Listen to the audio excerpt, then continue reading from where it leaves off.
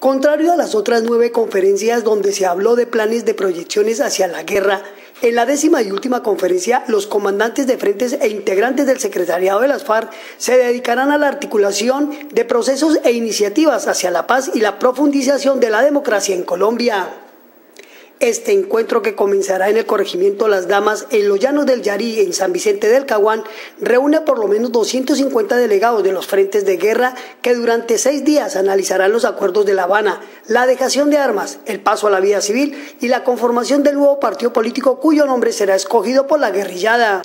Para llegar hasta este campamento donde se concentrarán todos los comandantes de frentes y columnas móviles de las FARC, hay que atravesar más de 250 kilómetros desde Florencia, capital del Caquetá, hasta San Vicente del Caguán y de ahí por una vía destapada que permite el acceso hasta la zona que hoy es tradicionalmente conocida como el santuario de las FARC. Durante el recorrido se pueden apreciar varios puestos de control del ejército como este que vigilan el tráfico vehicular. Iván Márquez, jefe del equipo negociador a su llegada a los llanos del Yarí, fue claro y directo. Quiero aclarar una cosa. La firma del acuerdo final no es la paz. La firma del acuerdo final no es el punto de llegada.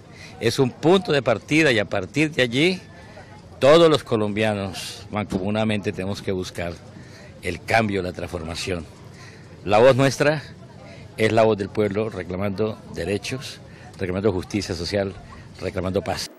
Cada conferencia tiene su característica. Esta, por el momento, es la de mayor importancia y de mayor realce, pues se busca la paz estable y duradera, dijo Pablo Catotumbo, comandante del Frente Suroccidental de las FARC. Va a ser un acontecimiento fundamental en la vida de nuestro país porque va a marcar el fin de la confrontación interna y una nueva era de paz para nuestro país.